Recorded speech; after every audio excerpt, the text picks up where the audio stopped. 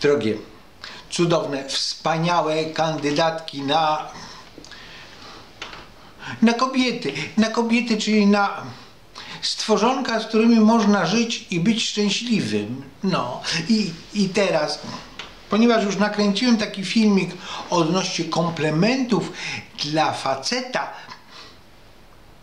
to mi się przypomniało, że kobiety inaczej odbierają komplementy, a inaczej odbierają krytykę.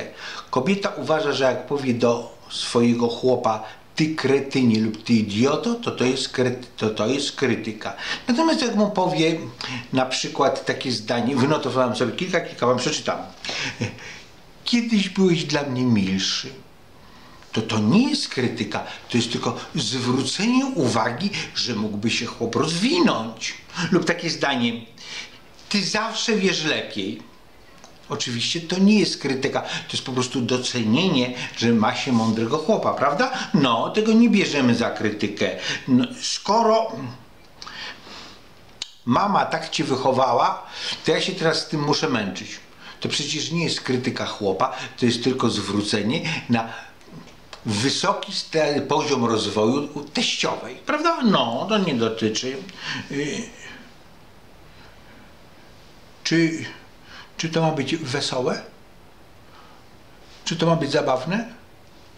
Znacie taki tekst? No, znacie. To nie jest krytyka, to jest po prostu pytanie wprost do faceta, czy to ma być wesołe, czy to ma być zabawne, po prostu, no. I on ma na to pytanie odpowiedzieć, prawda? No. To nie jest krytyka. A poza tym, to w rodzinie wszyscy zdrowi? To jest oczywiście stary kawał. To nie jest krytyka, to jest po prostu docenienie stanu zdrowia całej rodziny.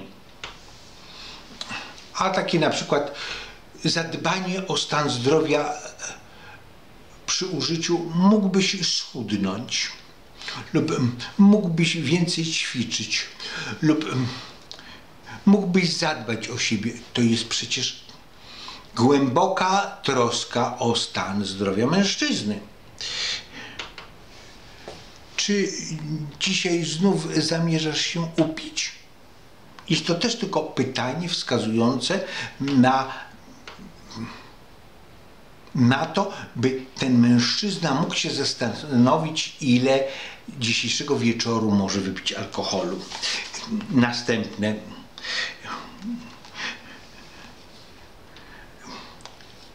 Gdzie ty sobie znalazłeś takich kolegów?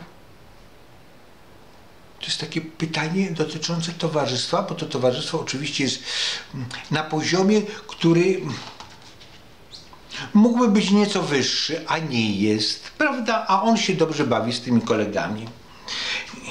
Ja bym bardzo chciała zrozumieć, co ty chciałeś mi przekazać swoim zachowaniem.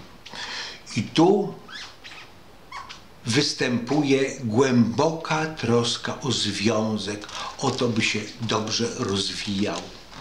Drogie panie, mam jeszcze wiele takich, chociażby. Czy to miał być żart? Drogie panie, odpowiadam wam, to nie miał być żart. To jest sytuacja, w której wam drogie niewiasty, z łatwością przychodzi wsadzić facetowi szpilę, bo facet to jest jak poduszka do szpilek. One tam świetnie wchodzą, tylko że niestety tam zostają.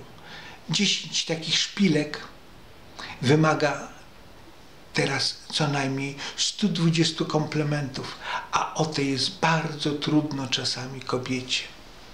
A o komplementach to kiedy indziej.